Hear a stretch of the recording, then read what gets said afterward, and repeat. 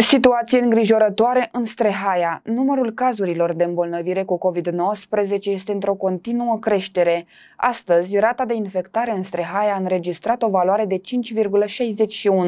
În acest moment, este cea mai afectată localitate din județul Mehedinți. Se pare că noul coronavirus face din ce în ce mai multe victime și în localitatea Strehaia. Dacă săptămâna trecută municipiul Drobeta Turnu Severin era frontaș la numărul de îmbolnăviri cu COVID-19, astăzi situația localităților unde rata de infectare a depășit 1,5 la mii de locuitori arată diferit. Strehaia este cea mai afectată localitate la nivelul județului, unde rata incidenței cumulative a ajuns la 5,61.